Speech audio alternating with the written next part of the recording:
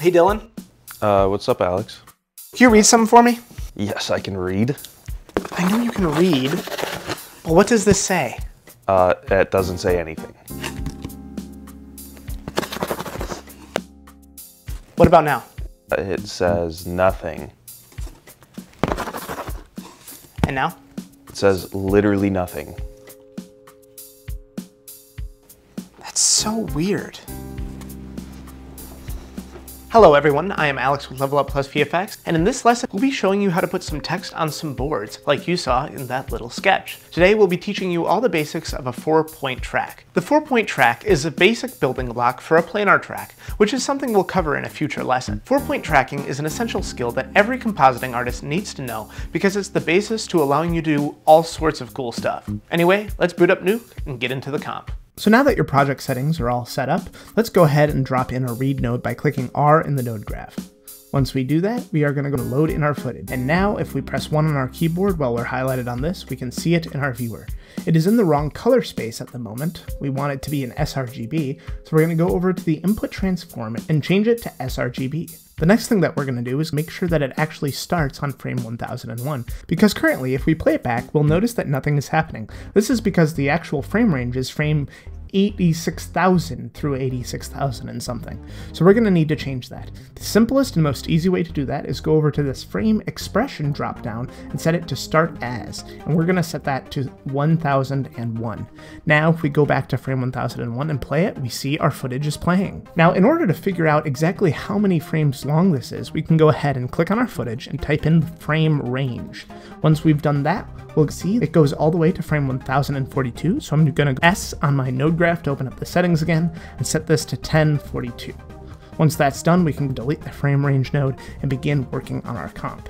The very first thing we're going to want to do is add in a tracker node, and we're going to see all these settings up here. For now, we're just going to want to go ahead and add four tracks, so we'll click that four times, and we're going to set each track to one of these tracking markers. So I'm going to drag tracker 4 and place it here.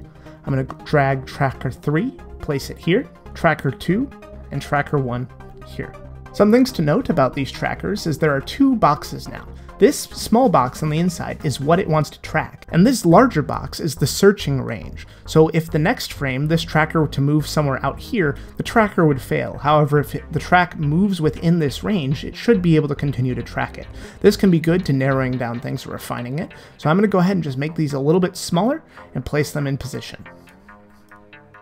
Now, at frame 1001, what we're going to do is we're going to turn on translate for all of these. Select them all by holding shift and selecting them all. You can also do control A. And we're going to go over to this top toolbar here and click track to end. And now it looks like it's finished tracking. We do see that our timeline here is still set to 1100, so we're going to go over to this visible and set it to global again, and it should reset the timeline range to our project settings. Hit the out button here and the in button over here just to set this to my out and in, and when we play it back, we can see that the trackers are sticking onto our tracking marker. So the next thing I'm going to do is stabilize this transform. I'm going to go over to my export settings and I'm going to switch this to corner pin, use transform reference frame, and click create. So once we have this corner pin node, we're going to go ahead and plug this into our footage and we can look through it. And when we look through it and play it back, we'll notice that it's actually not doing exactly what we wanted. We wanted this to stabilize our footage, not do whatever this is. So click invert on the node. And all of a sudden, this cardboard board is going to be stabilized throughout our shot. Remember, the invert of a match move is always a stabilize and vice versa. If you ever do a single point track, if you want to stabilize something, you can create a match move node and invert it. Now that we have this stabilized space, we're going to go ahead and paint out our tracking markers. Now the easiest way to do this is to add a roto paint node right underneath our corner pin. Switch over to the clone tool, hold control and drag in one direction in order to pull out our paint area. We'll hold shift to grow it. Control, and we're going to just click and paint out these tracking markers. So that's one done there. We'll do the same thing on the bottom here. We'll go over to our left side and we'll paint out this one here. Don't worry, we'll bring back the finger and the shadow later. And then on the top here, we're going to go ahead and bring this one out as well. With that done, if we play it back again, oh, we notice that it actually only disappears for one frame. So we're going to need to change the lifetime of these paint nodes, because currently they're just living for that one frame. We're going to select all four of our nodes, we're going to click on life and set it to all frames. Now if we play this back, we'll notice that the paint remains on the board for the entirety of the shot. Now all of these look good except for this very bottom one, which I don't think looks that great. So I go here and I'm going to delete that clone node and we're going to try to repaint that one more time. So I'm going to go ahead and maybe adjust this to move down a little bit and we'll paint it out again, maybe be a little bit more precise with it. Click a couple times to go around the finger a little bit more. And I think that's good. So let's grab those nodes again and set the lifetime to all frames and let's play that back again. Yeah, I think that looks better. Now, when we redistort this, we're actually going to lose a little bit of pixel sharpness. That's because we're distorting the entire image here, and as it's distorted, certain pixels are being compressed and uncompressed. So when we undo the stabilize, it's going to look slightly softer than the original image did. In order to avoid that and only have that softness start happening on these little edges here that we painted out, we're going to go ahead and switch our RotoPaint node over to Premultiply RGBA. This is going to leave just our painted areas out, and if we hit Q to see our full overlay and A, we can see that the alpha is just in those spots that we painted. We're going to want to put this over our original footage. So I'm going to hit M to add a merge node, and I'm going to say A goes over B, which is our original footage. When I look through this node, we'll notice that we're missing a couple spots and it looks weird. If we play it back, it doesn't track to our footage. That's because we stabilized our footage. We need to undo that stabilize by copying our corner pin node and pasting it underneath the rotopaint and undoing our invert. Now that we've done that, when we play it back, we'll notice that it's actually sticking to our board. But there is still a little bit of an issue here. I'm noticing a little black edge right in this corner, maybe a little bit up here on this edge too. So I'm going to go ahead and do a little bit more work on my paint node. I'm going to go back to the frame that I've painted everything else out before. I'm going to hit Q to open up my overlay again, and I'm just going to paint these areas out from the final merge node. So I'll do it here. I'll add a little bit more over here like that. I think that looks good. And I think there's just a little bit down there that we're also going to go ahead and try to remove. And over here as well, I'm just going to paint this out from the side. Remember, we're going to bring back these shadows, don't worry. Once your paint is looking the way you want it, go ahead and select all your clones again, set the lifetime to all, and let's play it back and look at it. Alright, I'm pretty happy with how that looks. Now we're going to go ahead and add in our text. So the first thing we're going to want to do in order to add in our text is we're going to go ahead and add in a text node. Go figure. With this text node, we can say whatever we want. So I'm going to go ahead and say, I love compositing with an exclamation mark. Once you choose the message you want, go ahead and add a corner pin node, then also a merge node, where we set A to our corner pin and B to our footage. Let's go ahead and look through that corner pin node and we'll see that I love compositing is up there in that top corner. We'll double click on our corner pin and hit Q to see our transforms. And we're going to set these to the corners of our board here. So let's go ahead and do that. And once that's done, we're going to go ahead and also change the size and placement of the text. So we're going to go above our corner pin node, add a transform node, hold control, and click and drag our center point till it's in the middle of our I love compositing. I'm going to go ahead and drag that now to the center of the board, and I'm to scale it up. So something like that, and I'll move it over maybe a little bit more. And now, finally, in order to make sure it matches to our footage, we're going to copy this corner pin 2D node again, and we're going to paste it at the very bottom.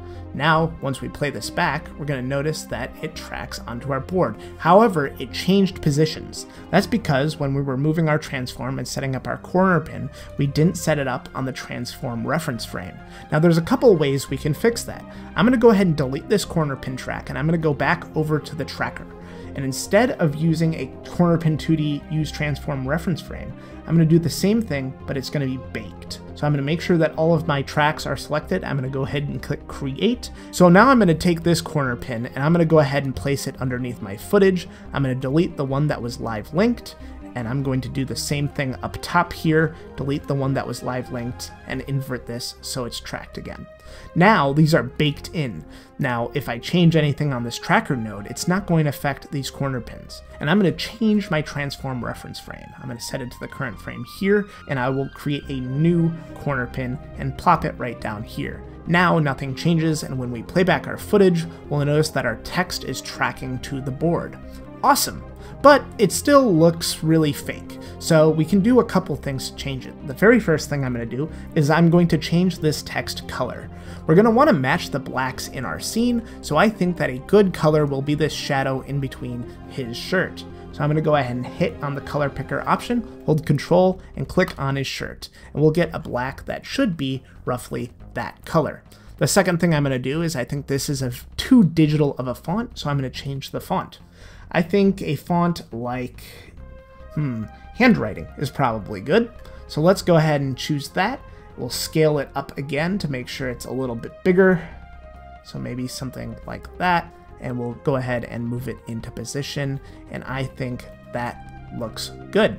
So if we go ahead and play it back now, we'll see I love compositing just like that.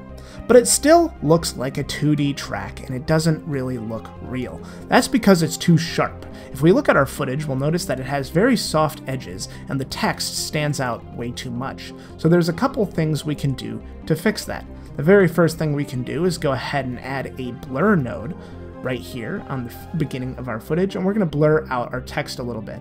I think something at the level of 4 actually looks pretty good. So if we play that back again, we'll notice that that sits in our scene much better than the original. The next thing we can do is we can erode this using a noise map. After all, when you write something, it's not always going to retain the exact same color throughout each stroke of your hand, so we're going to want to erode this to make it look like it was drawn over this cardboard just a little bit more.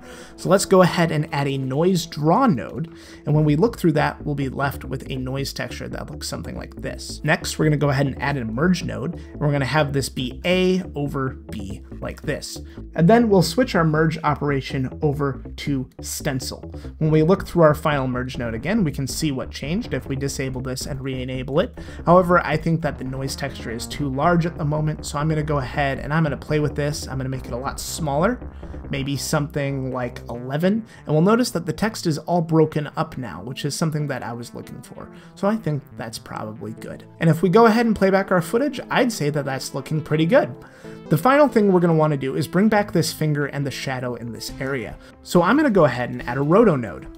Once I've added the roto node, I'll copy the stabilized version of our footage and plug it in. I'll look through that as a reference, and we'll notice that this makes it a lot easier to draw a roto node around compared to having to track his hand with the roto node. Now we don't need to plug the background in here like this. I'm just going to go ahead and switch over to the Bezier curve node, and I'm going to draw a quick little Bezier over his fingers.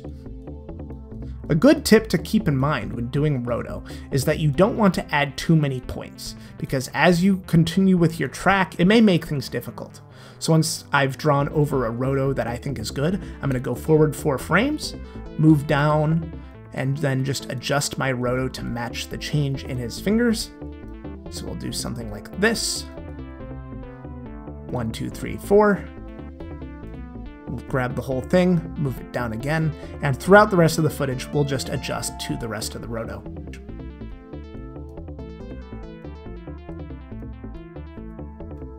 As we're going through this, please be careful to notice that the most important finger here to roto correctly is this one that's going around and near the tracker marker. As it gets further away, it's less important because it's unlikely that our roto paint stuff will be affecting these areas up here, but I'm just doing it for good measure. Now that I've done all that tracking work, I'm going to go ahead and go back and do the same thing to get those frames that I haven't touched on yet. Once we've finished doing our roto, we're going to go ahead and plug this into the mask of the over node. We'll grab this corner pin again, paste it underneath the roto, under, undo the invert, and set the mask operation to invert. Now if we look through our footage here, we'll notice that the finger is brought back on top as we play the footage.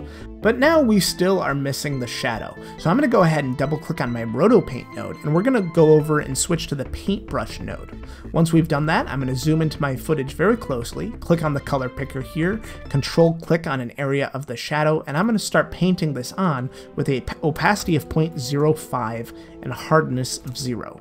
And I'm going to go ahead and paint in the shadow back in here manually. So maybe something like that. It's a little too dark. Once you're done painting in that shadow, let's go ahead and select all our brush nodes, set it to all frames.